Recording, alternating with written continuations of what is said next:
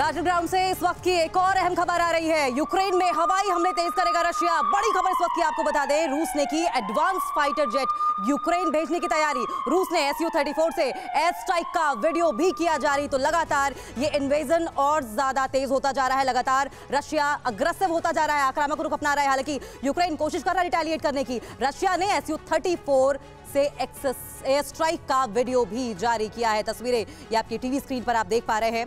रूस ने की एडवांस फाइटर जेट यूक्रेन भेजने की तैयारी। साफ़ तौर पर अब रशिया और ज़्यादा अग्रेसिव मोड में दिखाई दे रहा है।